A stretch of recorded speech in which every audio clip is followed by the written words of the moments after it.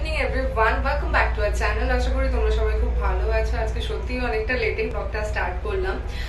তার কারণ হচ্ছে আজকে আবার আমার অমিতের দুজনের কারোরই শরীরটা ভালো নেই। অ্যাকচুয়ালি কালকে থেকেই শরীর ভালো নেই, ওই জন্য কালকেও ব্লগটা যায়নি। আমাদের যে দুই দিন মানে কি হচ্ছে বুঝতে পারছি না। তো অ্যাকচুয়ালি এখন আমি যাচ্ছি হচ্ছে স্টারে চেরির জন্য দুধ আনতে। চেরি দুধটা শেষ হয়ে গেছে, তো চলো যাওয়া যায় তো আমার অ্যাকচুয়ালি এখন স্টার থেকে দুধ ফুধ সব নেওয়া হয়ে গেছে। তো এখন আমি একটু যাচ্ছি হচ্ছে ঠাকুরের জন্য মিষ্টি নিতে I know you told your friend you're not okay. And tell me what's wrong and why you never stay. চা সমোসা দে তো ভুজিয়া দে তো আমি এখন বাড়ি চলে এসেছি আর স্টার থেকে আমি রাখি কিনে এনেছি তো ফার্স্টে কিনেছি হচ্ছে এই রাখিটা এটা আমার কাছে খুব একটা পছন্দের একটা রাখি আমি মানে জবে থেকে রাখি ব্যাপারটা বুঝেছি এই ধরনেরই রাখি চাইছিলাম। তো এটা ফাইনালি পেয়ে গেছি। তোমরা ভাবছ, রাখি কিসের জন্য কিনেছি? দাদা তো নেই।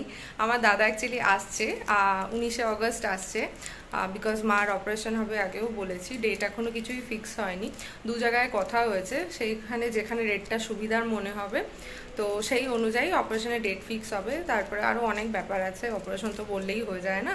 তো মার কিছু প্রিভিয়াস কিছু ডিজিজ আছে, সেগুলোরও একটা চেক আপের ব্যাপার আছে। সব কিছু মিলিয়ে তারপরে অপারেশনের ডেট ফিক্স হবে।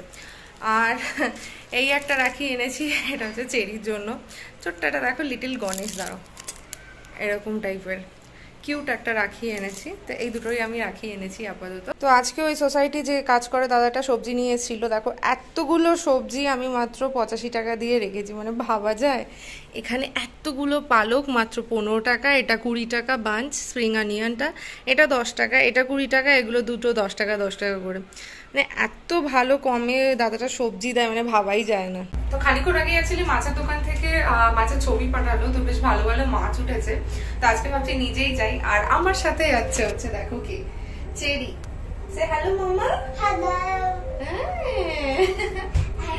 তো চেরি আমার সাথে যাচ্ছে। অমিত যাচ্ছে না অ্যাকচুয়ালি অমিতের শরীরটা ভালো নেই খুব একটা। তো আমি আর চেরি আজকে যাচ্ছি।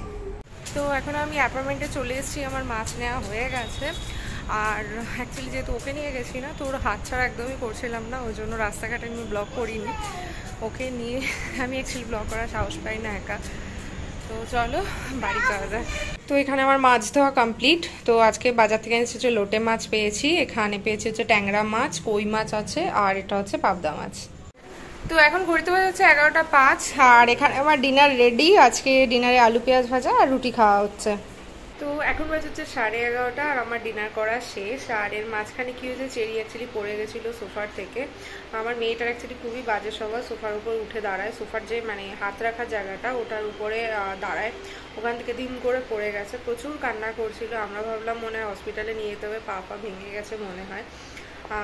আমার কি হয় অ্যাকচুয়ালি আমি উপর থেকে স্ট্রং থাকার প্রচণ্ড চেষ্টা করি বাট ভেতর থেকে আমি খুব উইক হয়ে যাই। আর যেটার কারণে আমার প্রেশার খুব তাড়াতাড়ি ফল করে যায়।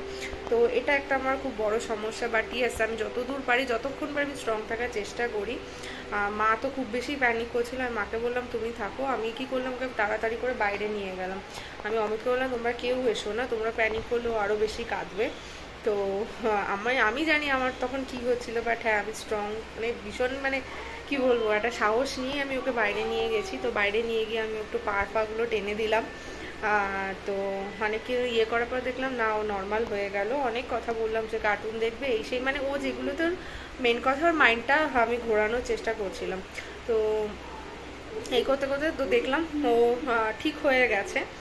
তো একটাই কথা বলব, তোমরা যারা মায়েরা আছো ট্রাস্ট মি তোমরা খুবই ভালো মা খুবই সুন্দর তোমরা।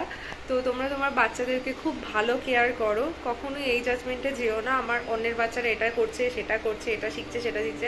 আমার বাচ্চা শিখছে না, ও তার মানে মনে আমি ভালো মা নই, আমি মনে ঠিকঠাক মতো পারভারিশ দিতে পারছি না। দ্যাট ইজ টোটালি রং তোমরা খুবই ভালো ওকে শিক্ষা দিচ্ছ, তোমরা যা করছ ওর ভালোর জন্য করছ। এর থেকে ভালো মা হতে পারে না। তো ট্রাস্ট মি তুমি সত্যি সত্যি তোমরা খুবই ভালো মা। এই কনফিডেন্টটা সবসময় নিজের মনের মধ্যে রাখবে আর নিজেকে স্ট্রং করবে। বিকজ একটা বাচ্চার জন্য মার থেকে বেশি ইম্পর্টেন্ট আর কিছু হতে পারে না। তো যাই হোক মানে আজকের দিনটা তো খুবই খারাপ। সকাল থেকে অমিতেরও শরীরটা ভালো নেই। আমার এখন একটু ঠিক আছে। আমার মানে বিকেলের পর থেকে ধীরে ধীরে ঠিক হয়েছে। শরীর খারাপ বলতে অ্যাকচুয়ালি সবারই স্টামাক আপসেট রয়েছে। কালকে থেকে অ্যাকচুয়ালি স্টার্ট হয়েছে।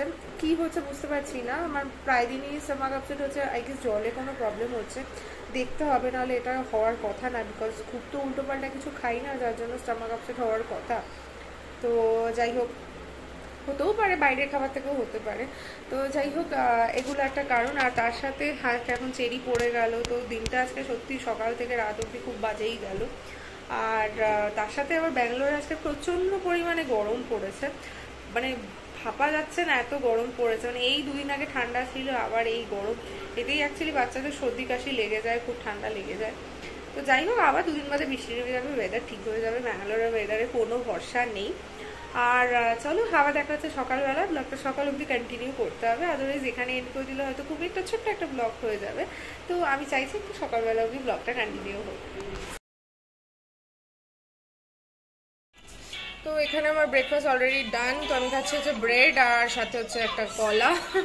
তো এটা খাচ্ছি, আমার ব্রেকফাস্ট ডান এখানে চেরির খাওয়া ডান ওখানে মা খাচ্ছে, তো সবার খাওয়া মোটামুটি ডান তো এখন আমি ওয়েট করে আছি একটা বিশাল বড় সারপ্রাইজের জন্য।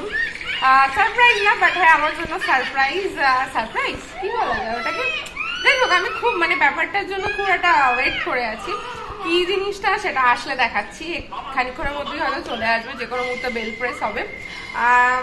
তো ততক্ষণে যারা যারা একটা কমেন্ট করে জানাও স্কিপ না করে, যে আমি কিসের জন্য ওয়েট করেছি। যদি বলতে পারো, তারপরে পুরোটা যখন হবে, তখন দেখে নিও, মিলছে গিয়ে সো ফাইনালি আমার ওয়েটের অবসান হয়েছে। তো তোমাদেরকে দেখাচ্ছি কি জিনিস, কি এসছে। তো চলো দেখিয়ে দিই। তো আমি এতক্ষণ এইটার জন্য ওয়েট করছিলাম। তোমরা দেখেই হয়তো বুঝতে পারছ কি মাছ। হ্যাঁ এটা হচ্ছে ইলিশ মাছ। তো আমি ইলিশ মাছ এত ভালো খাই, এত ভালো খাই বলার মতো না। তো মানে আমি লিটারেলি ওয়েট করে থাকি কখন ইলিশ খাব।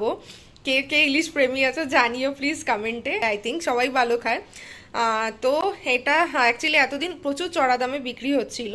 আজকে একটু দামটা কমে পেয়েছি, তাও কম বলতে কেজি ছিল হচ্ছে এক হাজার পাঁচশো পঞ্চাশ টাকা। ও সতেরোশো করে চাইছিল, তা আমি কমিয়ে এক হাজার পাঁচশো পঞ্চাশ টাকায় নিয়েছি। আর এর মাছটার ওজন হয়েছে এক কেজি ছশো। তো টোটাল মাছটার ওজন চব্বিশশো সাড়ে পঁচিশশো টাকা মতো সামথিং কাছাকাছি এসছে। তো এটা হচ্ছে মাছটা দেখতে, দেখে তো মনে হচ্ছে ভালো মাছটা এখন খাওয়ার পরে বুঝতে পারব যে কেমন। খেয়ে তো অবশ্যই একটা ফিডব্যাক দেবো। আর ডেফিনেটলি এটা জানাতে ভুলো না যে ইলিশ মাছ দেখলে সবার আগে কোন রেসিপিটা মাথায় আসে সবার আগে? যেমন আমার সবার আগে আসে সর্ষে ইলিশ। আমি সর্ষে ইলিশ ছাড়া ভাবতেই পারি না ইলিশ মাছ। আর তারপরে যদি সেকেন্ড কিছু হয় সেটা হচ্ছে বেগুন দিয়ে যে ইলিশ মাছের ঝোলটা হয় সেটা। এই দুটো ছাড়া আমি ইলিশ মাছ ভাবতেই পারি না। তো তোমরাও ডেফিনেটলি জানিও তোমাদের কার কি ফেভারিট রেসিপি ইলিশ মাছের?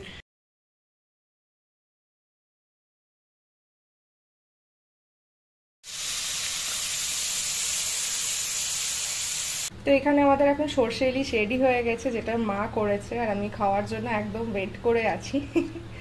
তো আজকে ব্লগটা এখানেই এন্ড করছি। আজকে ব্লগটা যদি কোথাও কিছু ভালো লেগে থাকে, তো অবশ্যই একটা লাইক করে দিও শেয়ার অ্যান্ড সাবস্ক্রাইব করো। প্লিজ ভুলো না এগুলো করতে। আর কমেন্ট করে অবশ্যই জানিও কোথায় কি ভালো লাগছে, কি লাগছে না, আর ইলিশ মাছ কার কার ফেভারিট তো ঠিক আছে, চলো হ্যাঁ আজকে এখানেই এন্ড করে দিচ্ছি। আবার দেখা হবে নেক্সট ব্লগে টাটা বাই